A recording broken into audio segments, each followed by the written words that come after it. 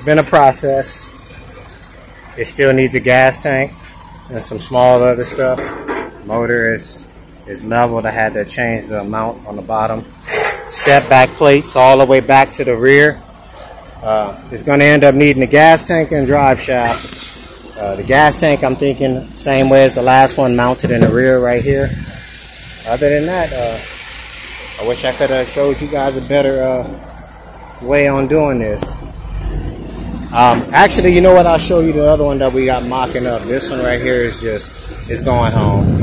You know, I said the 21st person pulls up talking about they want to get it. So I just made the decision, just give it back to them.